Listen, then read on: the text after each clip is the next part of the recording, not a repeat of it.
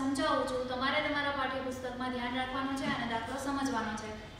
પ્રશ્ન નંબર પાંચમાં કીધું છે કે નીચે દર્શાવેલ કોષ્ટક દરેક ખેલાડીએ ચાર રમતમાં મેળવેલા અંક દર્શાવે છે. તમને એક કોષ્ટક આપેલું છે જે અહીંયા દોરેલું છે. ચાર ખેલાડી ત્રણ છે અને ચાર રમત રમે છે. એમાં પ્રશ્નો આપેલા છે, અમુક ચાર પ્રશ્નો આપેલા છે. એમાં પહેલો પ્રશ્ન જોઈએ, દરેક રમતમાં એ વડે મેળવેલ અંકની સરાસરી શોધો. એટલે કે જે ખેલાડી છે, તો ખેલાડીના નામ આપેલા છે તમને એ બી અને સી આ ત્રણ ખેલાડી છે, અને રમત કેટલી રમે છે? તો કે એક, બે, ત્રણ અને ચાર. હવે તમને એવું કીધું છે કે ખેલાડી એ છે, એની અંકગણિતીય સરાસરી શોધો. તો એ ચાર રમત રમે છે, તો ચારેય રમતમાં અલગ અલગ સ્કોર બનાવે છે. પહેલી રમતમાં ચૌદ છે, બીજી રમતમાં 16 છે, ત્રીજીમાં દસ અને ચોથીમાં પણ દસ. તો અંકગણિતીય સરાસરી કે બધા પ્રાપ્તાંકોનો સરવાળો. આપણે આગળના લેક્ચરમાં સરાસરી વિશે વાત કરેલી. સરાસરી એટલે શું? તો કે મધ્યક. મધ્યક અને સરાસરી બંને એક જ છે. એના માટેનું સૂત્ર છે બધા પ્રાપ્તાંકોનો સરવાળો અથવા તો આપેલી માહિતીના અંકોનો સરવાળો છેદમાં કુલ પ્રાપ્તાંક.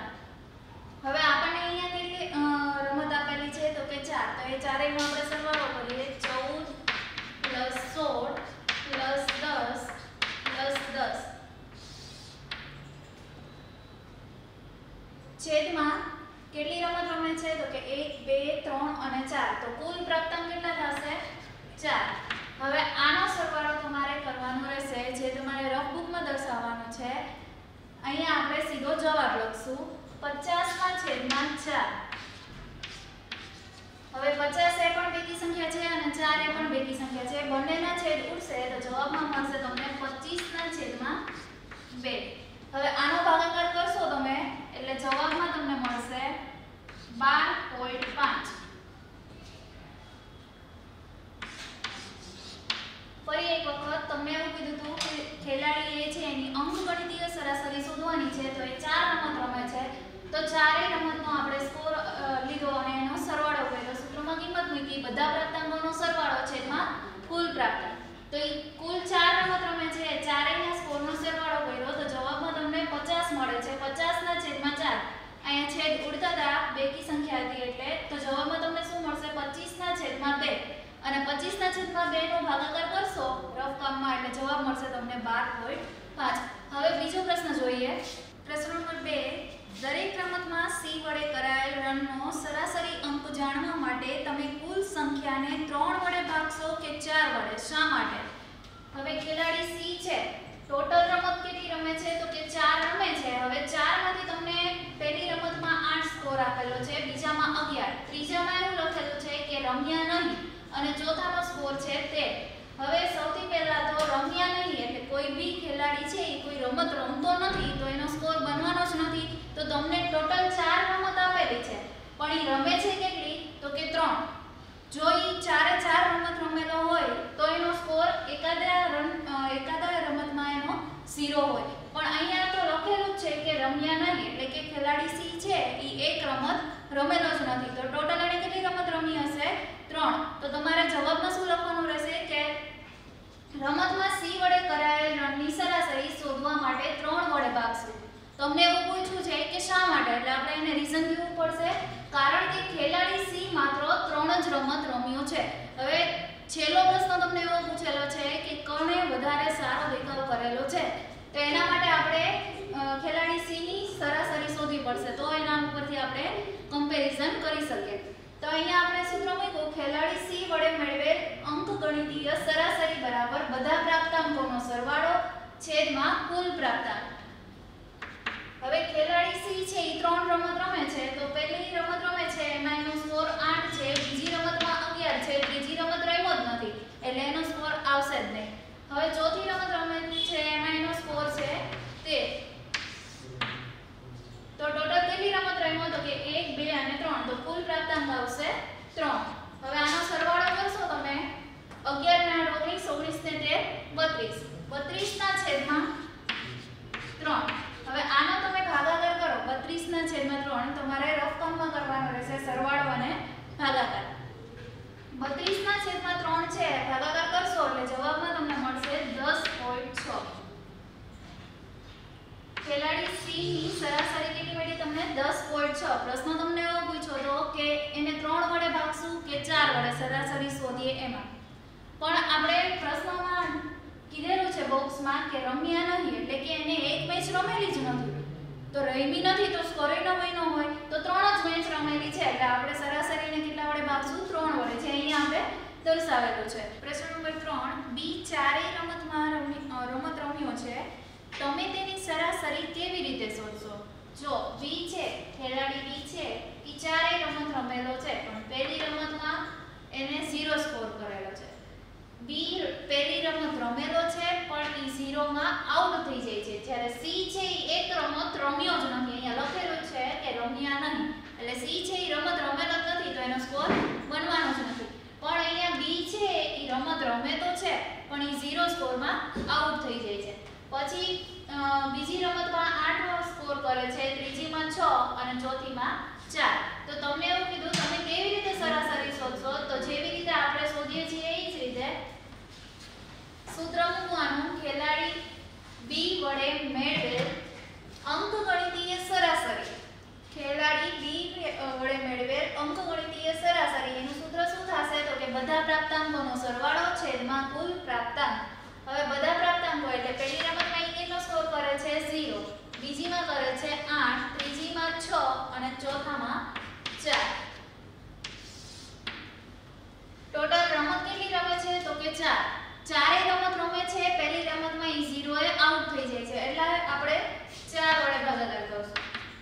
હવે આ ત્રણેય ચારેયનો સરવાળો કરશો, એટલે 6 ને 4 10 ને 8 18 0 એટલે 18 જે તમારે રફકમમાં કરવાનું રહેશે છેદમાં આવશે 4 18 અને 4 બંને બેકી સંખ્યા છે, એટલે બંનેનો ભાગ 2 વડે ચાલશે તો અહીં છેદ ઉડાડીએ તો 2 2 4 અને 9 2 18 એટલે જવાબમાં તમને મળશે 9 ના છેદમાં 2 હવે આનો તમે ભાગાકાર કરશો રકમમાં તો જવાબમાં તમને મળશે 4.5 ફરી એક વખત, બી છે એ ચારેય રમત રમે છે. પહેલી રમતમાં ઝીરો સ્કોરે આઉટ થઈ જાય છે. અને બાકીની ત્રણ રમત રમે છે, એમાં 8 6 અને 4 સ્કોર બનાવે છે. તો તમને એવું કીધું છે કેવી રીતે સરાસરી શોધશો? તો જેવી રીતે આપણે કરીએ છીએ, એ જ રીતે સૂત્રમાં કિંમત મૂકવાની બધા પ્રાપ્તાંકોનો સરવાળો છેદમાં કુલ પ્રાપ્તાંક 0 8 6 4 એટલે એનો સરવાળો કરશો તો 18 ના છેદમાં 4 મળશે, બંને બેકી સંખ્યા છે, તો છેદ ઉડશે, તો 9 ના છેદમાં 2 મળશે. આ બેનો ભાગાકાર કરશો એટલે જવાબમાં તમને શું મળશે? 4.5 હવે પ્રશ્ન નંબર 4 જોઈએ કે કોનો દેખાવ સૌથી સારો છે? તો જો આપણે જે ખેલાડી એ છે, એની સરાસરી શોધી તો એની સરાસરીમાં તમને જવાબ શું મળ્યો તો? 12.5 પછી બીજું આપણે બીજો પ્રશ્ન હતો, એમાં ખેલાડી સી ની સરાસરી શોધી હતી, તો એનો જવાબ તમને મળ્યો તો 10.6 અને ખેલાડી બી ની એટલે કે ત્રીજો પ્રશ્ન હતો, ખેલાડી બી એને આપણે સરાસરી શોધી તો 4.5 હવે આપણે જો, ખેલાડી એ હતો, એની સરાસરી કેટલી મળી હતી? 12.5 બી ની મળી હતી 10.6 અને સી ની મળી, સોરી બી ની મળશે 4.5 અને સી ની મળશે 10.6 હવે જુઓ જી, આમાંથી સૌથી વધારે સરાસરી હોય એવું કોણ છે? તો કે ખેલાડી એ જેની મળે છે 12.5 તો આપણે સીધો આન્સર જ લખવાનો છે. તમને એવું કીધું નથી કે આમાં ગણતરી કરીને દર્શાવો, એવું જ કીધું છે કોનો દેખાવ સૌથી સારો છે? તો આપણે સીધો જવાબ લખશું. પ્રશ્ન નંબર 4 માં મેં જેમ તમને સમજાવ્યું કે એ બી અને સી આ ત્રણેય ખેલાડીનો આપણે સરાસરી શોધી. જેમાં સૌથી સારો દેખાવ કોનો છે? તો કે ખેલાડી એ નો. સૌથી સારો દેખાવ છે. શું કામ? તો કે એની સરાસરી આપણે શોધી તો 12.7 12.5 જે આપણને જવાબ મળ્યો હતો એ સૌથી વધારે છે. સરાસરી સૌથી વધારે છે. એટલા માટે સૌથી સારો દેખાવ કોણ કરે છે? તો કે સૌથી સારો, તેથી ખેલાડી એ નો દેખાવ સૌથી સારો છે. આ આટલો જ તમારે જવાબ લખવાનો છે. આમાં કોઈ ગણતરી આવશે નહીં. હવે પ્રશ્ન નંબર 6 જોઈએ. હવે પ્રશ્ન નંબર 6 તમને સમજાવું છું. તમારે તમારા પાઠ્યપુસ્તકમાં ધ્યાન રાખવાનું રહેશે. વિજ્ઞાનની એક કસોટીમાં વિદ્યાર્થીઓના એક સમૂહે 100 માંથી પ્રાપ્ત કરેલ ગુણ 85 76 90 પંચ્યાસી, ઓગણચાલીસ, અડતાલીસ, છપ્પન, પંચાણું, એક્યાસી અને પિંચોતેર છે. એમાં ત્રણ પ્રશ્ન પૂછેલા છે. એમાં પહેલો પ્રશ્ન આપણે જોઈએ કે વિદ્યાર્થીઓએ મેળવેલ સૌથી વધુ અને સૌથી ઓછા ગુણ. તો સૌથી પહેલા તો આપણે શું કરવાનું? તો કે તમને જે માહિતીના અંકો આપેલા છે, એટલે કે 100 માંથી મેળવેલા ગુણો આપેલા છે, માહિતી આપી છે, એને શું કરવાનું? ચડતા ક્રમમાં ગોઠવવાની. તો આપણે ચડતા ક્રમમાં ગોઠવી, તો 39 છે એ સૌથી નાની સંખ્યા છે, એટલે કે નાની સંખ્યાથી મોટી સંખ્યા તરફ જવાનું, એને ગોઠવીએ તો 39 48 56 75 76 81 85 85 90 95 હવે પહેલો પ્રશ્ન તમને એવો પૂછ્યો છે કે સૌથી વધુ ગુણ. તો સૌથી વધુ ગુણ, એટલે આપણે છેલ્લી સંખ્યા જોવાની રહેશે. તો સૌથી વધુ ગુણ છે 95 તો અહીંયા આપણે લખીએ. પછી એવું કીધું છે, સૌથી ઓછા ગુણ. તો પહેલી સંખ્યા હોય, સૌથી નાની સંખ્યા હોય, એટલે સૌથી ઓછા ગુણ કેટલા થશે? તો કે 39 હવે પૂછેલો છે કે મેળવેલા ગુણનો વિસ્તાર વિસ્તાર, માહિતીનો વિસ્તાર શોધવાનો હોય તો તમને કીધું હતું કે મહત્તમ અંકમાંથી અથવા તો મહત્તમ ગુણ હોય એમાંથી તમારે લઘુત્તમ ગુણ બાદ કરવાના એટલે સૌથી મોટી સંખ્યામાંથી સૌથી નાની સંખ્યા બાદ કરવાની. તો અહીંયા આપણે સૂત્ર મૂક્યું, મેળવેલા ગુણનો વિસ્તાર બરાબર સૌથી વધુ ગુણ માઇનસ સૌથી ઓછા ગુણ. તો પહેલા પ્રશ્નમાં આપણે જે માહિતી મેળવી કે સૌથી વધુ ગુણ ને સૌથી ઓછા ગુણ એ બંનેની બાદબાકી કરવાની. તો સૌથી વધુ ગુણ છે 95 અને સૌથી ઓછા ગુણ છે 39 હવે 95 માંથી તમારે 39 બાદ કરવાના છે, તો તમને મળશે 56 અને પાછળ શું લખવાનું? ગુણ. કેમ કે તમને ગુણ પૂછ્યા છે. સૌથી વધુ ગુણમાંથી સૌથી ઓછા ગુણ બાદ કરો તો માહિતીનો વિસ્તાર છે એ તમને શું મળશે તો કે 56 ગુણનો. આ તમારો જવાબ થશે. એના પછી ત્રીજો પ્રશ્ન પૂછેલો છે કે સમૂહ દ્વારા, એટલે કે જે એક ક્લાસ હતો, એના જે 100 માંથી ગુણ મેળવેલા છે, એ આખા સમૂહની વાત કરે છે. મેળવેલા ગુણની સરાસરી શોધો. તો સરાસરી શોધવા માટેનું આપણે સૂત્ર મૂક્યું. મેળવાયેલા ગુણની સરાસરી બરાબર બધા પ્રાપ્તાંકનો સરવાળો છેદમાં કુલ પ્રાપ્તાંક. તો આપણે જે ચડતા ક્રમમાં ગોળ્યું હતું, એને આપણે અહીંયા મૂકી દીધા. પણ શેમાં? તો કે બધાનો આપણે સરવાળો કરવાનો છે, એટલે બધા વચ્ચે પ્લસની નિશાની આવશે. છેદમાં, ટોટલ જેટલા પ્રાપ્તાંક હોય એ? તો કેટલા છે? 1 2 3 4 5 6 7 8 અને 9 અને 10 ટોટલ 10 પ્રાપ્તાંક, એટલે કે 10 અંકોની માહિતી આપેલી છે તમને. તો છેદમાં કુલ પ્રાપ્તાંકની જગ્યાએ તમે શું લખશો? 10 10 અંકોનો સરવાળો કરો, છો તો છેદમાં આવશે 10 હવે આ બધાનો તમે સરવાળો કરશો રકમમાં એટલે જવાબમાં તમને મળશે 730 છેદમાં 10 હવે અહીંયા 0 0 ઉડી જશે. અંશ અને છેદમાં એક એક 0 છે તો 73 ના છેદમાં 1 હવે આપણે જ્યારે અપૂર્ણાંકોની વાત કરેલી, ત્યારે આપણે કીધું હતું કે છેદમાં 1 હોય કે ન હોય કઈ ફેર પડે નહીં. એટલે આપણે સીધો જવાબ શું લખશું? 73 અને એક પાછળ શું લખશું? કેમ કે આપણને અત્યાર સુધી જેટલા પ્રશ્નો પૂછ્યા, એમાં તમને મેળવેલા ગુણની જ વાત કરેલી છે એના માટે. જવાબ શું તમને મળશે? 73 ગુણ. પહેલો પ્રશ્ન પૂછ્યો તો કે સૌથી વધુ ગુણ અને સૌથી ઓછા ગુણ, તો એના માટે તમને જે માહિતી આપી હતી એને ચડતા ક્રમમાં ગોઠવી નાનાથી મોટી સંખ્યા તરફ ગોઠવવાનો. સૌથી વધુ ગુણ 95 સૌથી ઓછા ગુણ આપણને 39 આપ્યા છે. પછી વિસ્તાર શોધવાનો કીધો તો વધુ ગુણમાંથી ઓછા ગુણ બાદ કરવાના, એટલે તમને બીજા પ્રશ્નનો જવાબ મળ્યો 56 ગુણ. અને ત્રીજો પ્રશ્ન એવો પૂછ્યો હતો કે મેળવેલા ગુણની સરાસરી. તો આપણે ઈ જે ચડતો ક્રમ ગણ્યો હતો એ માહિતીનો સરવાળો કર્યો અને જવાબમાં મળ્યું તમને 73 ગુણ. હવે પ્રશ્ન નંબર 7 જોઈએ. પ્રશ્ન નંબર 7 માં કીધું છે, સળંગ 6 વર્ષોમાં એક શાળામાં વિદ્યાર્થીઓની સંખ્યા નીચે પ્રમાણે હતી પંદરસો પંચાવન, સોળસો સિત્તેર, સત્તરસો પચાસ, બે હજાર તેર, પચીસો ચાલીસ અને અઠ્યાવીસો વીસ. આ છ વર્ષોની તમને સંખ્યા આપેલી છે વિદ્યાર્થીઓની. આગળ એવું કહે છે, આ સમયગાળા દરમિયાન શાળાના વિદ્યાર્થીઓની સરાસરી સંખ્યા શોધો. સરાસરી શોધવાની કીધી છે આપણને? તો આપણે સરાસરીનું સૂત્ર મૂકવું પડશે. ખાલી સરાસરી શોધવાની કીધી છે. એટલે જે 6 વર્ષમાં વિદ્યાર્થીઓની સંખ્યા છે, એ તમારે અહીંયા લખવાની રહેશે. તો વિદ્યાર્થીઓની સરાસરી બરાબર બધા પ્રાપ્તાંકોનો સરવાળો છેદમાં કુલ પ્રાપ્તાંકની સંખ્યા. હવે જ્યારે પણ સરાસરી શોધવાની આવે, તો આપણે અલગ અલગ સૂત્ર બનાવવાની જરૂર નથી. આ એક સૂત્ર તમે બધામાં યાદ રાખશો તો ચાલશે. બધા પ્રાપ્તાંકોનો સરવાળો છેદમાં કુલ પ્રાપ્તાંકની સંખ્યા. આપણને અલગ અલગ વર્ષમાં અલગ અલગ સંખ્યા છે છ વર્ષની આપણે સંખ્યા લઈ ગઈ અને એમનો સરવાળો કર્યો. પંદરસો પંચાવન પ્લસ સોળસો સિત્તેર પ્લસ સત્તરસો પચાસ પ્લસ બે હજાર તેર પ્લસ પચીસો ચાલીસ પ્લસ અઠ્યાવીસો વીસ. અને છ વર્ષ લીધા છે એટલે કુલ પ્રાપ્તાંક કેટલા થશે? છ. તો છેદમાં આપણે લખ્યા છ. આ બધાનો તમે રકમમાં સરવાળો કરશો એટલે તમને જવાબ મળશે બાર હજાર ત્રણસો અડતાલીસ. છેદમાં આવશે છ. હવે આનો તમારે ભાગાકાર કરવાનો છે. છ વડે ભાગાકાર કરો તો જવાબ તમને મળશે બે હજાર ને અઠાવન.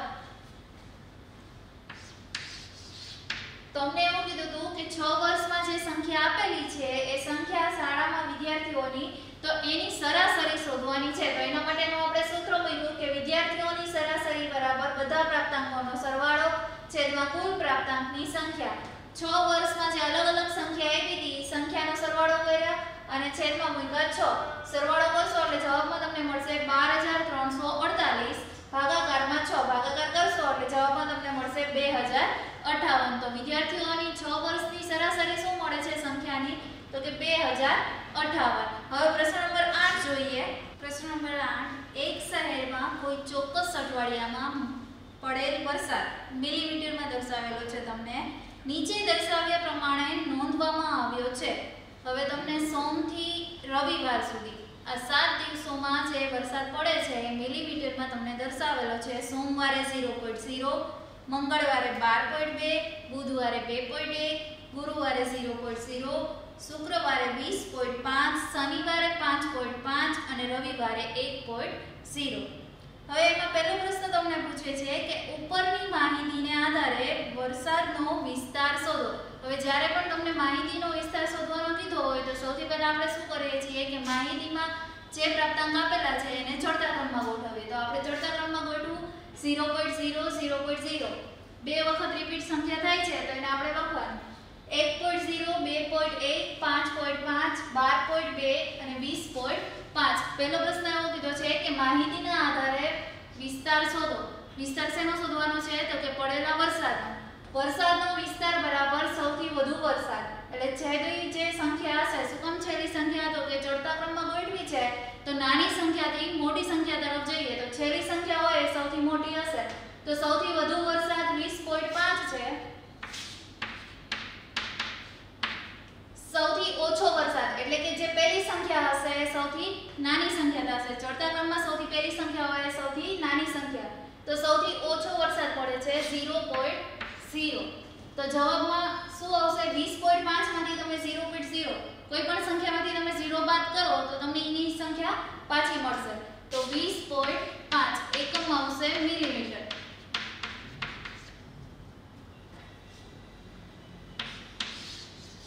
આ તમારો આન્સર થશે. બીજો પ્રશ્ન તમને પૂછેલો છે, આ અઠવાડિયામાં પડેલ વરસાદની સરાસરી શોધો. તો સરાસરી શોધવાની છે, તો જે તમે ચડતા ક્રમમાં ગોઠવેલી માહિતી છે, એ બધાનો તમારે સરવાળો કરવાનો રહેશે. તો આપણે સૌથી પહેલા સૂત્ર મૂક્યું કે વરસાદની સરાસરી બરાબર બધા પ્રાપ્તાંકોનો સરવાળો, છેદમાં કુલ પ્રાપ્તાંકની સંખ્યા. પ્રાપ્તાંકોનો સરવાળો આપણે અહીંયા કરેલો અને છેદમાં કુલ પ્રાપ્તાંકની સંખ્યા, એટલે આ તમે જે પ્રાપ્તાંક આપેલા છે અને ગણશો, એટલે કુલ કેટલા થશે? 7 છેદમાં મૂક્યા તમને જવાબ પોઈન્ટમાં મળશે. 41.3 આ બધાનો તમે સરવાળો કરશો પ્રાપ્તાંકોનો એટલે જવાબ તમને મળશે 41.3 છેદમાં 7 હવે આપણે જ્યારે અપૂર્ણાંક અને દશાંશની વાત કરેલી ચેપ્ટર નંબર 2 માં ત્યારે આપણે ભાગાકારમાં જોયું હતું. તો અહીંયાથી આપણે પોઈન્ટ કાઢ્યા. તો પોઈન્ટ પછી એક સંખ્યા છે. તો છેદમાં 1 ની પાછળ એક શૂન્ય આવશે. તો આ 7 ના 7 એમ નામ છે. ગુણાકારમાં આપણે મૂક્યા 10 હવે ચારસો તેનો ભાગાકાર તમે સાત વડે કરશો એટલે જવાબમાં તમને મળશે ઓગણસાઠ. આ બધી વસ્તુ સરવાળો, ભાગાકાર, ગુણાકાર તમારે રકમમાં કરવાનું રહેશે.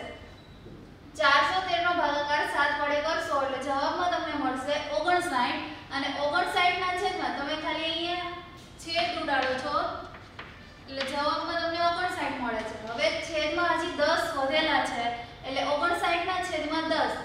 હવે એકની પાછળ એક શૂન્ય છે. એક શૂન્ય હોય, ભાગાકારમાં જ્યારે એક શૂન્ય હોય, તો તમને અંશમાં આપેલી સંખ્યાની જમણી બાજુથી એક સંખ્યાની આગળ, એટલે અહીંયા એક સંખ્યા થશે 9 અને 9 ની આગળ શું મૂકવાનું રહેશે? પોઈન્ટ એટલે જવાબ તમને શું મળશે? 5.9 આ તમારો જવાબ થશે. તો સરાસરી તમને શું મળી? વરસાદની સરાસરી 5.9 એકમ શું આવશે? મિલીમીટર. એના પછી પ્રશ્ન નંબર 3 છે કેટલા દિવસોમાં વરસાદ સરાસરી વરસાદ કરતા ઓછો પડ્યો છે?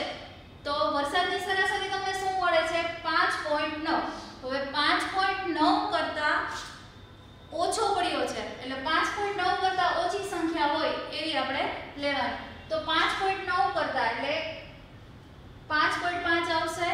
એનાથી જે નાની સંખ્યા છે એ બધી આવશે. તો કેટલી સંખ્યા થાય છે? 1 2 3 4 અને 5 5.5 ગણાશે, કેમ કે પોઈન્ટ પછી 9 છે સરાસરીમાં. જ્યારે અહીંયા 5.5 છે, એટલે આ 5.5 ને આપણે ગણવાના રહેશે.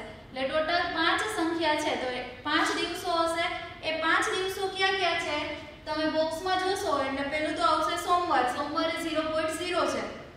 પછી આવશે બુધવાર 2.1 મિલીમીટર. પછી આવશે ગુરુવાર 0.0 અને પછી આવશે શનિવાર 5.5 અને છેલ્લું રવિવાર 1.0 એટલે ખાલી તમને પ્રશ્ન પૂછેલો છે કે કેટલા દિવસોમાં વરસાદ સરાસરી વરસાદ કરતાં ઓછો પડે છે? એટલે આપણે ખાલી જવાબ જ લખવાનો છે કે આ અઠવાડિયામાં 5 દિવસ.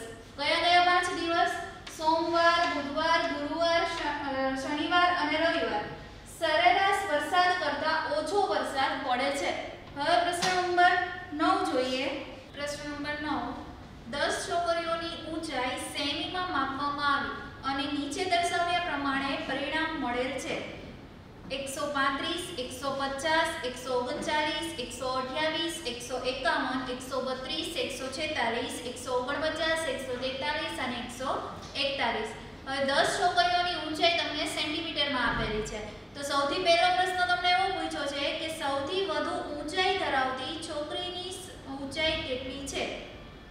સૌથી વધુ ઊંચાઈ ધરાવતી છોકરીની ઊંચાઈ કેટલી છે? તો એના માટે સૌથી પહેલા આપણે શું કરવું પડશે? તો કે ચડતા ક્રમમાં ગોઠવવું પડશે. ચડતા ક્રમમાં ગોઠવશો એટલે એકસો અઠ્યાવીસ, એકસો બત્રીસ, એકસો પાંત્રીસ, એકસો ઓગણચાલીસ, એકસો એકતાલીસ, એકસો તેતાલીસ, એકસો છેતાલીસ, એકસો ઓગણપચાસ, એકસો પચાસ અને એકસો એકાવન. આટલું ગોઠવા પછી તમારે ગણી લેવાની દસ છોકરીઓની ઊંચાઈ તમને કીધું છે એટલે દસ સંખ્યા થવી જોઈએ. ત્રણ ને બે પાંચ ત્રણ ને બે પાંચ ભેગી દસ સંખ્યા. હવે તમને પહેલો પ્રશ્ન એવો પૂછ્યો છે કે સૌથી વધુ ઊંચાઈ ધરાવતી છોકરીની ઊંચાઈ. તો આપણે ચડતા ક્રમમાં ગોઠવું છે તો નાનાથી મોટી સંખ્યા તરફ જઈએ. એટલે જે છેલ્લી સંખ્યા હશે એ સૌથી મોટી હશે તો આપણો જવાબ અહીંયા છે એકસો એકાવન સેન્ટીમીટર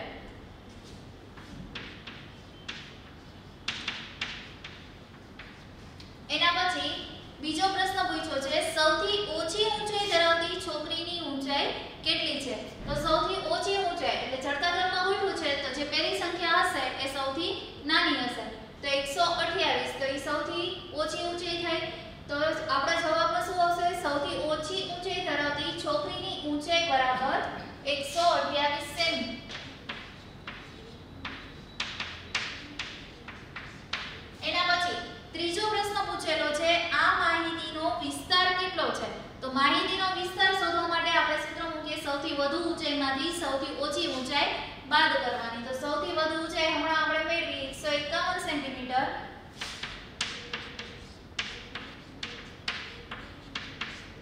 એમાંથી સૌથી ઓછી ઊંચાઈ ધરાવતી 128 સેન્ટીમીટર હવે આ બાદબાકી કરીએ તો અહીંયાથી કટ કરશો એટલે 11 આવશે 11 માંથી 8 જશે તો 3 અહીંયા કટ કરશો એટલે 4 આવશે અને 4 માંથી 2 જશે 2 જશે એટલે 2 મળશે તો 23 સેન્ટીમીટર તમારો જવાબ થશે તમને આડી બાદબાકી ન ફાવે તો રફકમમાં ઊભી બાદબાકી કરી દેવાની જવાબ શું મળશે માહિતીનો વિસ્તાર તમને શું મળ્યો 23 સેન્ટીમીટર સૌથી વધુ ઊંચાઈમાંથી સૌથી ઓછી ઊંચાઈ બાદ કરી એટલે જવાબ તમને મળશે માહિતીના વિસ્તારમાં 23 સેન્ટીમીટર એના પછીનો પ્રશ્ન છે ચોથો હવે એમાં ચોથો પ્રશ્ન આપ્યો છે છોકરીઓની સરાસરી ઊંચાઈ કેટલી છે એટલે તમને જે માહિતી આપેલી છે જે ચડતા ક્રમમાં ગોઠવેલી છે, એને આપણે સરવાળો કરીને ભાગાકાર કરશું, જેટલી છોકરીઓની ઊંચાઈ આપેલી છે.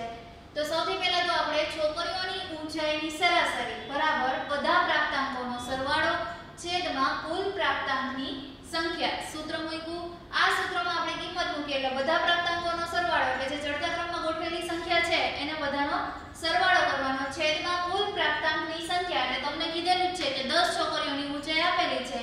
તો અહીં આપણે લખી નાખવાનું.